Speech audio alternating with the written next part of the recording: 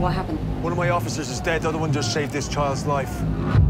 The two cops who were actually on the roof. They're first on the scene, but they don't turn on their body cams. Any luck tracking down the female PC? We need to find her. We cannot risk exposing her. The Tower concludes Monday at 9 on Virgin Media 1 and Virgin Media Player.